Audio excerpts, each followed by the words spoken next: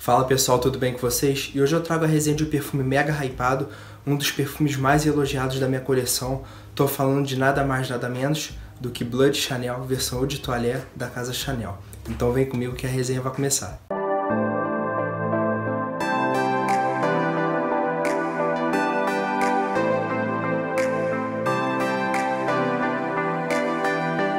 Bom, antes de mais nada, eu peço para você que está assistindo esse vídeo ainda não é inscrito no canal que se inscreve para estar tá dando uma força. Não esquece de ativar o sininho de notificações para vocês não perderem nenhum vídeo que eu vou estar postando.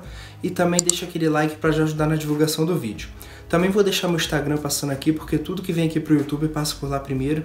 Então a galera já sabia que esse vídeo ia ao ar. Então vou deixar aqui passando para vocês me seguirem lá. Então sem mais delongas, vamos começar o vídeo. Eu vou começar aqui a mostrar a apresentação do perfume como eu sempre faço um frasco assim, uma apresentação bem simples, assim como vários perfumes da Chanel. Eles não investem muito em embalagem, essas coisas assim, eles costumam fazer umas coisas bem mais simples. Aqui atrás o número do batch code.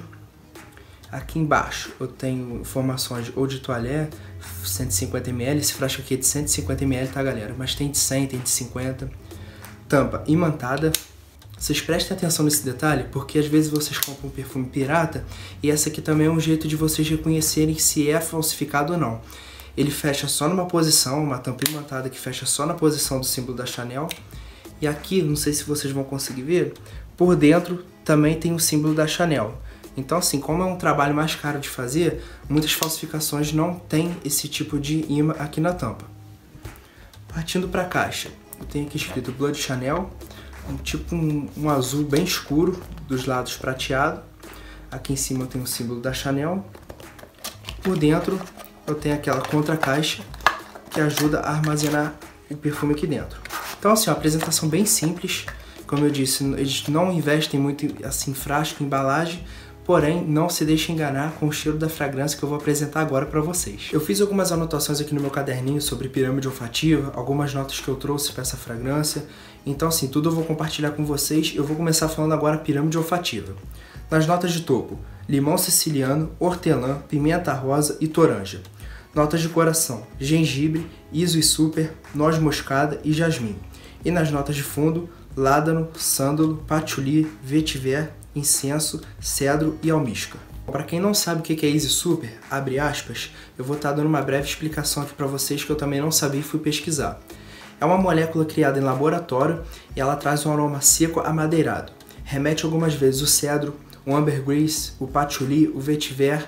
Então assim, ela reforça um lado que já tem na pirâmide olfativa. Bom, vou borrifar o perfume aqui na pele para poder pegar a saída para vocês, uma saída melhor. Aproveitando mostrar o borrifador, tá? Olha.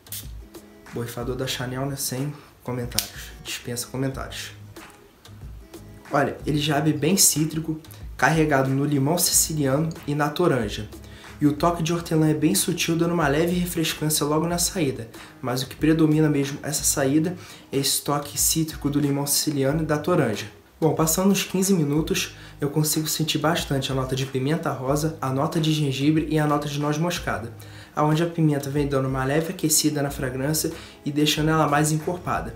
É como se essas três notas, pimenta rosa, gengibre e a nota de noz moscada abraçasse essa saída cítrica.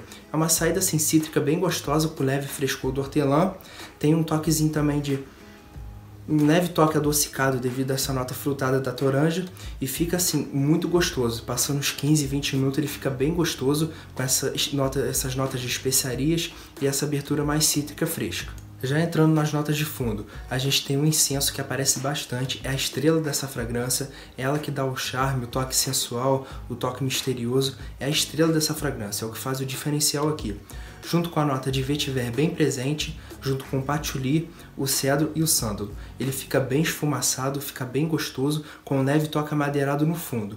Assim, na minha pele ele fica variando, porque tem horas que eu sinto mais esse toque esfumaçado e tem hora que parece que o toque cítrico reacende na minha pele. Então ele fica variando, é como se essas notas brigassem para ver qual que aparece mais. Então às vezes varia muito na minha pele, principalmente se eu usar em climas mais quentes com temperaturas mais altas. Ele fica variando na minha pele esse toque esfumaçado do incenso junto com esse toque amadeirado, junto com essa abertura mais cítrica. É um perfume que para encontro, para agradar o público feminino, é tiro certo, é matador. Se você tem um encontro marcado com aquela pessoa que você está muito tempo afim e quer surpreender, vai com esse carinha aqui.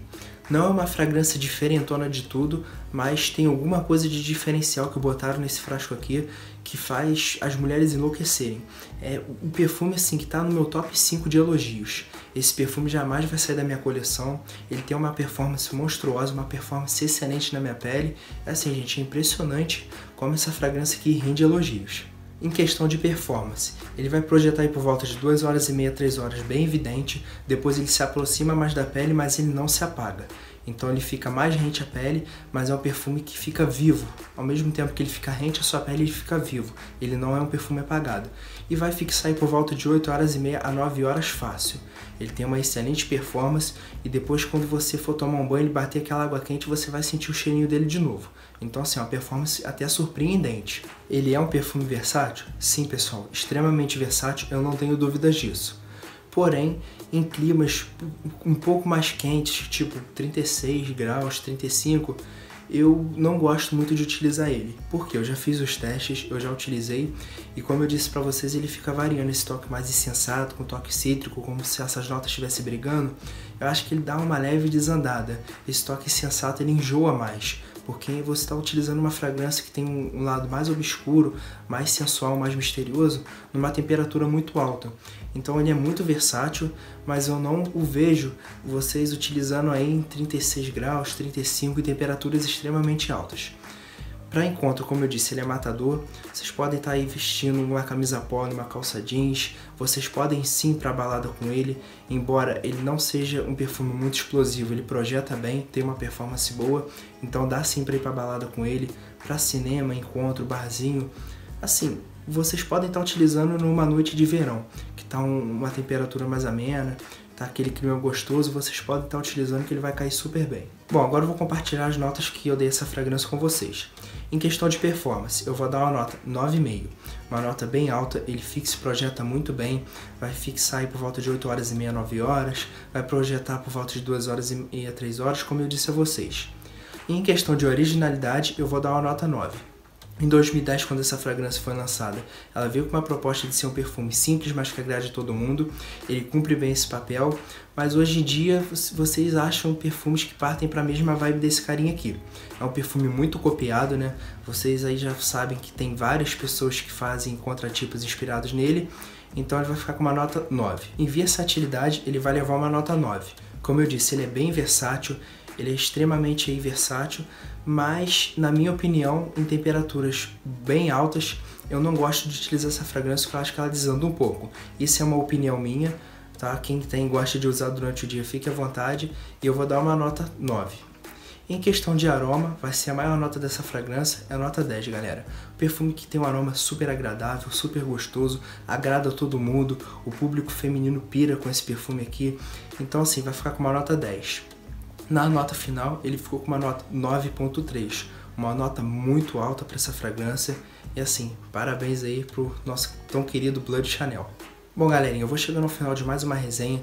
Eu espero que vocês tenham gostado e curtido bastante. Peço aí para quem ainda não é inscrito no canal que já se inscreve, já clique no sininho de notificações para vocês não perderem nenhum vídeo que eu vou estar postando e deixa aquele seu like também aí para ajudar na divulgação do vídeo. Eu espero que vocês tenham gostado. Fiquem com Deus, um grande abraço e até a próxima.